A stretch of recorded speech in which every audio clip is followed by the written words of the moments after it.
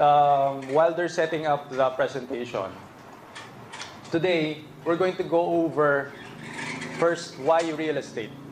Bakit ba maganda ang real estate? Uh, why is this the vehicle, my personal vehicle of choice for investment and for retirement? So I'm going to go through the advantages of real estate. Uh, yun yung uh, first part. And then we're going to go through yung strategies. Dalawa lang naman ang, ang, ang- strat, set of strategies that I'm going to discuss. Strategies for buying or acquiring real estate, and then strategies for profiting from real estate. Iba-iba kasi yung background niyo. Some of you came in here, walang knowledge, so medyo open. Medyo open pa. Some of you are here interested to know how to do flipping properties.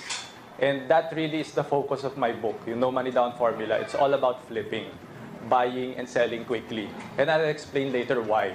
And then some of you, thank you, some of you may already have uh, properties already, and you don't, you're not interested with flipping. You're interested with uh, getting passive income from real estate. So I'm also going to be discussing that area. Okay. But that's going to be our focus. Uh, first is the why real estate.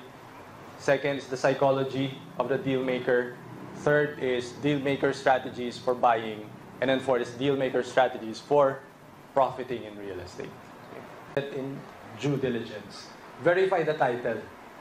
Um, a lot of sellers, anyway, a lot of motivated sellers. When you work with motivated sellers, sila mas madali silang kausap.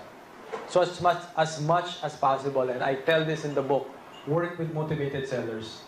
Kasi kung hindi motivated yan, mahirapan kayo mag-negotiate, masayang lang yung oras nyo. But if it's a motivated seller, bibigay nila lahat ng dokumento nila sa inyo. So, when they show you the title, that's the owner's copy, verify. Verify kagad sa RD. Check nyo kagad kung may annotations. And check mo kung ano yung annotations. Lima, paupahan mo.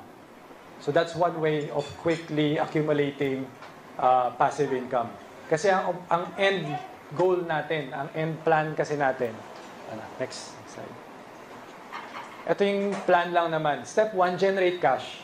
Kung wala pa kayong cash ngayon, use no money down formula to generate cash.